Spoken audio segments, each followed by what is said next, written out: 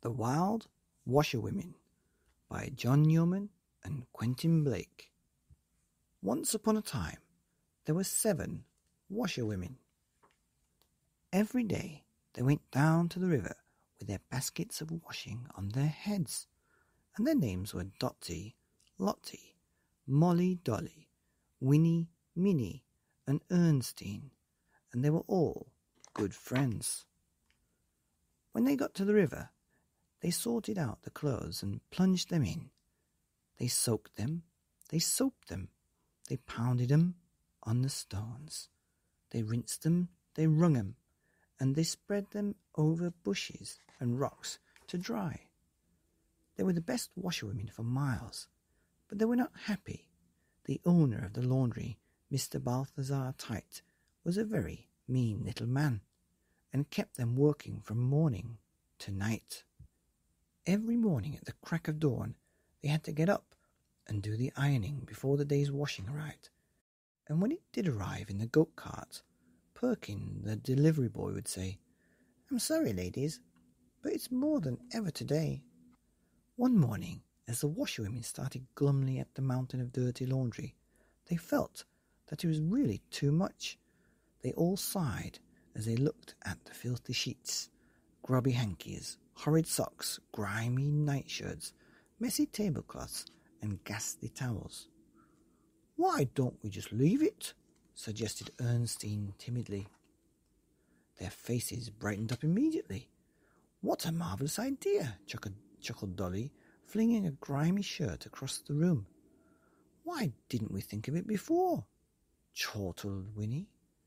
And at that they began to dance but the door burst open and Mr. Balthazar Tight stepped in with Perkin. Now, now, ladies, he said with a frown, there's work to be done. Then he looked at the great mound of laundry on the floor.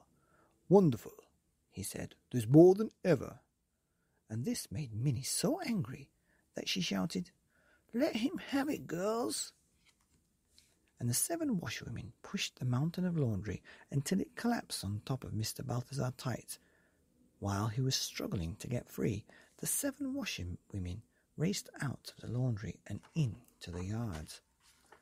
They piled into the empty goat cart, and Dotty grabbed the reins. Gee up, Lysander, she cried to the goat. The washerwomen were so excited by their escape that they drove the cart right through the town pond, splashing the clean clothes off the passers-by with muddy water. After that, there was no stopping them.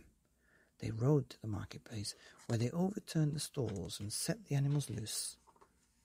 They stopped in orchards and climbed the trees to help themselves to the farmer's fruit. They raced through the hat shops and snatched the hats. They ran into churches and alarmed the local people by swinging on the bell ropes and making terrible noises. The washerwomen were having so much fun that they didn't want it to end. So day after day they went on the rampage, and all that washing had made the washerwomen very strong. The people who tried to stop them didn't have a chance. Everyone was terrified of them. Each village built a watchtower so that a villager could shout, Look out, the wild washerwomen are coming, when their goat cart came into sight. In a hut in the forest lived seven woodcutters. They chopped down trees and floated them down the river to the town. When they heard that there were seven washerwomen were coming, they just laughed. We'll see who's afraid, they said. We'll prepare a surprise for them. And the woodcutters decided to make themselves as ugly and as frightening as possible. They tangled their hair and matted their beards they smeared mud and soot all over their hands and faces and clothes, and they practiced making blood curdling cries. Soon the seven washerwomen came rattling up the mountain path in their goat cart. As they turned the corner, there, in front of them, was a terrifying sight. Lysander stopped in his tracks, and even the wild washerwomen were about to run away. But then Minnie realized that they were looking at the dirtiest and grubbiest things that they had ever seen in their lives. Come on, girls, she shouted. Remember, you're washerwomen. and they leapt out of the cart and grabbed hold of the woodcutters and plunged them in the river. They soaked them and squeezed them and pounded them on the stones. They rinsed them and wrung them and laid them out to dry. And by the time they'd finished, the woodcutters had never looked so clean and shining, and the washerwomen felt quite proud of their work. In fact, now they could see the woodcutters without their soot and mud. They really rather liked the look of them. The washerwomen never went back to work for Mr. Balthazar Tights. They married the woodcutters, who built them some new log huts to live in. And after that, people who travelled along the mountain path would see them all happily washing and woodcutting and having the time of their lives.